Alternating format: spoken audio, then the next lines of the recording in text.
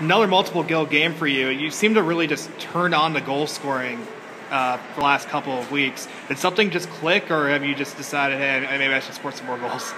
Uh, I'm not sure what it was. I mean, uh, you know, something I, I'm not trying to think about points or anything like that, but uh, I guess, uh, you know, it's pretty easy to Brownie and Fox. I mean, they find me pretty good, so uh, it's, not been, uh, it's not all me, it's, it's mostly them.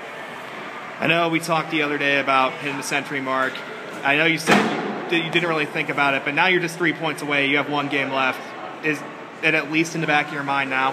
Yeah, I mean, obviously, it's, it's something you're kind of kind of thinking about here. Uh, you know, tomorrow night, whether uh, you know the game's worth anything or something else. I uh, you know, selfish, selfishly, I am, you know, kind of strive for that. But uh, the main thing is here we finish third.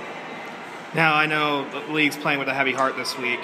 Uh, is hockey really just the best way to just put tragedy in the back of your mind? Yeah, uh, that's a tragedy and it's an awful story and it's so sad to hear about. But I mean, um, you know, life's got to go on. And, and you know, I you know, some guys are talking about them canceling some games, you know, and, and uh, I think they did the right thing. I think that's what Terry, Terry would have wanted. I don't he would have wanted a league stoppage just